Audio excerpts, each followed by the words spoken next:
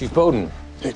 Assistant State's Attorney Steve Cott. I'm handling the Roger Maddox arson case. Uh, I uh, thought you were here for something else.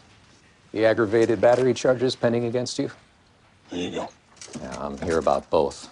The latter could compromise your ability to testify in the former. What do you want me to testify for? You know Gabriella Dawson. She's the arson investigator who first linked Maddox to the fires.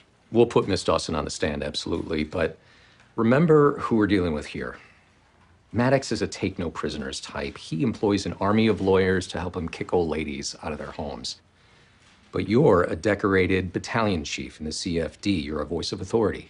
You can gain the trust of the jury and help us frame this case in plain language, but only if you dispel these accusations against you. Those accusations are unrelated and invented from whole cloth. Doesn't matter. If you don't clear them up before the Maddox case goes to trial, you're worthless to us as a witness.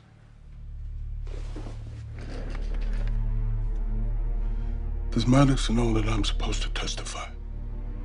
I assume so. I'm required to disclose the witness list to his lawyers.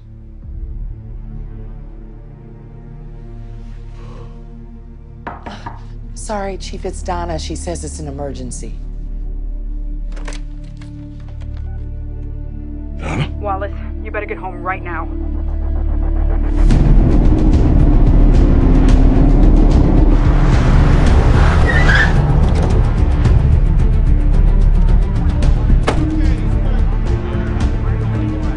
Wallace? This is insanity.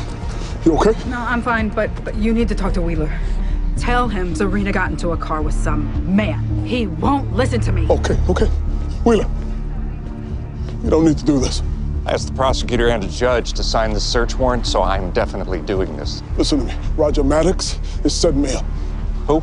Roger Maddox. He's charged with arson. I'm supposed to be testifying against him. This is nothing more than an attempt to discredit me. Chief, when were you going to tell me that you got into a confrontation with Serena Holmes early this morning? Wheeler, you're not hearing me. I need to know what happened with Serena. My wife and her, she exchanged words. She drove away, that's all. Is it? Yeah, Because now she's MIA. she's missing. That's right. My witness has vanished. You and your wife were the last people seen with her.